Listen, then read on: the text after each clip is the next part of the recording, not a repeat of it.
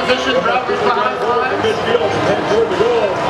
Under the low bar, aiming their shooter up and uh, low left. The gate of the one. Once again, drivers behind the line. Three, two, one, charge. Qualification match 62 is underway. 1684 again trying to get over. The Cheval de Frise getting one of the pallets down.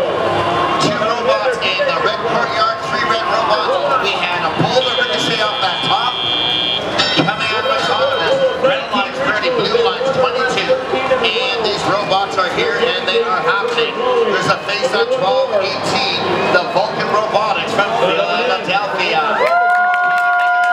One hit, and Team 4920 was shooting, and they were off their game on that.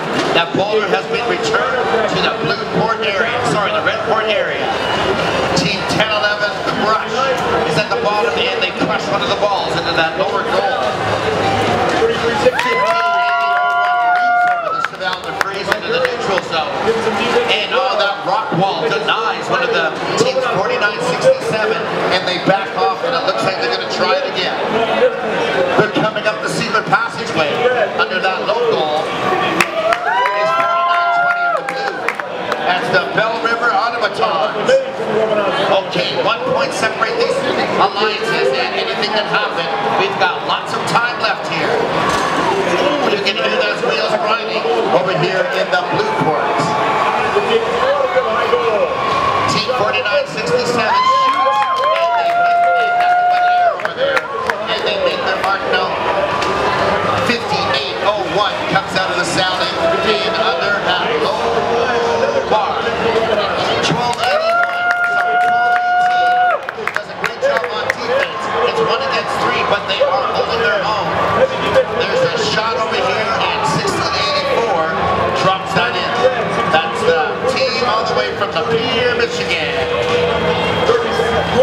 We're getting close to 30 seconds. 49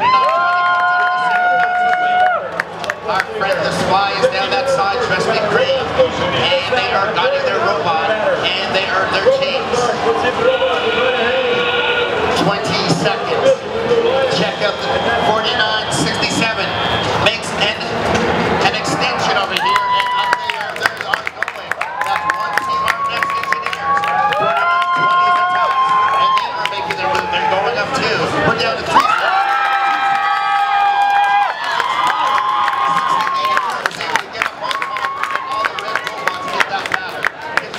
We'll be back